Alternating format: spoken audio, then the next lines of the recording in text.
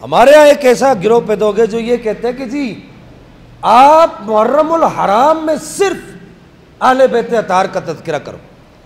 आप मुहर्रमुल हराम में सिर्फ़ और सिर्फ़ इमाम हुसैन पाक का तस्करा अच्छा उनको ये भी नहीं पता कि मुहर्रमुल हराम में क्या सिर्फ़ इमाम हुसैन पाक का ही तस्करा करना है या और लोगों का भी?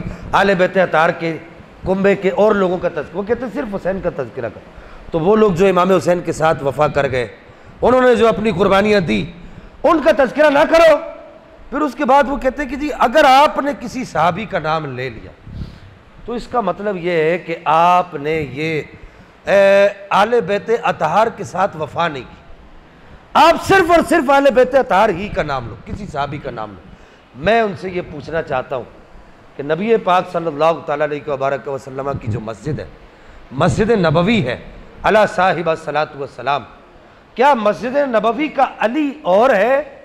और मैदान रज़मो हक का अली अली और है? अली क्या मैदान बदर में अली था? तो क्या वो मस्जिद नबवी में अली नहीं था? मुझे बताओ। मुझे मेरे सवाल का जवाब दो। क्या मौला अली सिर्फ़ मस्जिद नबवी में अली थे? हाँ मैदान बदर में ही अली थे। क्या मौला अली मैदान जंग में ही अली होते थे? जंग जमल और सिफीन में ही अली अली था? उसके अलावा क्या अली अली नहीं था? तो मैं ये पूछना चाहता हूँ कि जिस वक्त नबी पाक सल्लल्लाहु अलैहि के विशाल का वक्त करीब आया, आपको शदीद बुखार की कैफियत थी। अंदर से मस्जिद नबवी के हजर जहाँ पर रसूलुल्लाह आराम फरमा होते थे, जहाँ पर इस्लाम का हजर अनवर था, वहाँ अंदर से आवाज़ क्या आई? मुरू अबा बकर फल बिन नास। वो मुसल्ला जिस मुसल्ले पर रसुल्ला खड़े होकर नमाज़ पढ़ाते थे। बोलो सुबह अल्लाह वो मुसल्ला जिस मुसल्ले पर रसूल्ला खड़े होते तो रब की आयतें नाजिल होती थी। वो मुसल्ला जिस मुसल्ले पर रसूलुल्लाह खड़े होते थे तो जिबरील अमीन ऐसे हाथ बाँध के आपके सामने आ जाते थे।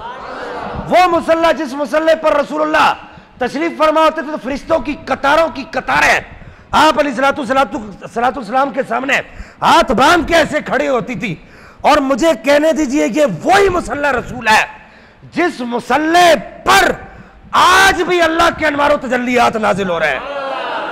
क्योंकि यार आलू सुनना वाल जमा है तुम हमारे मिजाज को समझ नहीं सके।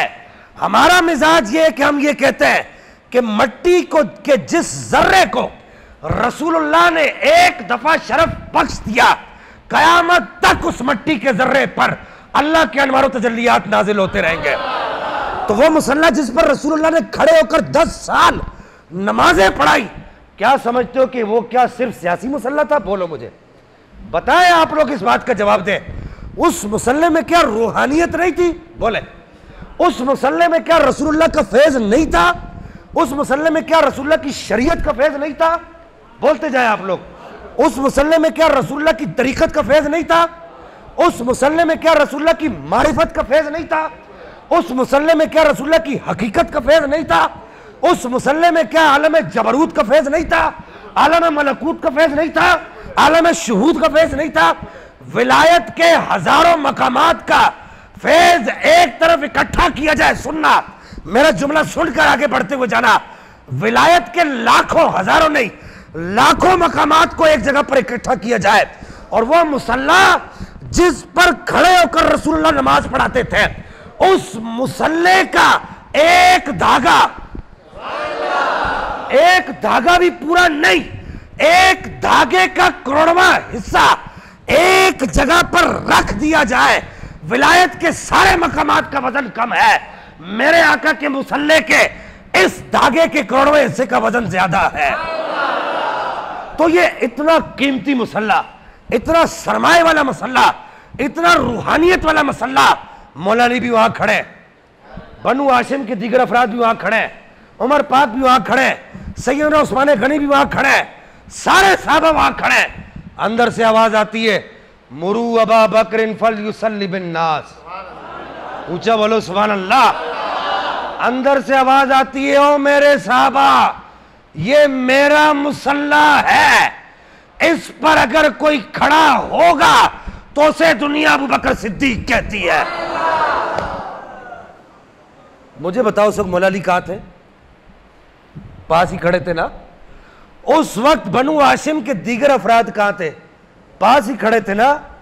वो भी जानते थे कि रसूलुल्लाह के सीने की अमानतें अगर किसी के पास मौजूद है, रसूलुल्लाह के सीने का फैज अगर किसी के पास सारे का सारा मौजूद है, इससे हम दीगर की नफी नहीं कर रहे। कहीं कोई एक एक नफी कर रहे शाह साहब, हम दीगर की नफी नहीं कर रहे। रसूलुल्लाह के सीने का फैज, अगर सारे का सारा इस वक्त किसी के पास, इस कंडीशन में मौजूद है कि वो रसूलुल्लाह के इस मसले पर खड़ा हो सके तो वो सिद्दीक अकबर की जात है। वरना यार, अली बदर में तैंतीस, चौंतीस को मार सकता है, अली तबूक में जोहर दिखा सकता है, अली खैबर में एक हाथ पर वो खैबर के किले के दरवाजे के एक पट को उल्टे हाथ की इन तीन उंगलियों पर उठा सकता है तो वो क्या अबू बकर सिद्दीक को रोक नहीं सकता? बोलो मुझे जवाब दो। नहीं रोक सकता। और फिर रसूलुल्लाह पर एतराज़ करते हो कि रसूलुल्लाह को नहीं पता था जी यहाँ किसको खड़ा होना चाहिए, इसका मतलब तो ये होगा कि रसूलुल्लाह नहीं जानते थे। रसूलुल्लाह जानते हैं। जानते थे हदूद तायर सिदका, सिदरा। हुजूर जानते हैं। कहा है अरश मुल्ला हुजूर जानते हैं। तो बहरहाल ये एक खाम ख्याली है कि जी आप मुहर्रम में किसी साहबी का नाम ना लें सैदना सिद्दीक अकबर का नाम ना लें। बल्कि हमारा नज़रिया यह है कि हम मुहर्रम में ठोक के सिद्दीक अकबर का नाम लेंगे। कि हम ये कहेंगे, ये बताएँगे कि अली के बच्चों का तस्करा है और ये वो अली के बच्चे हैं जो सिद्दीकी अकबर के पीछे नमाजें पढ़ते रहे। हम मुहर्रम में ठोक के अली का नाम लेंगे और बताएँगे, ये वो अली है जो अबू बकर सिद्दीक, उमर फारूक, उस्मान गनी के पीछे नमाजें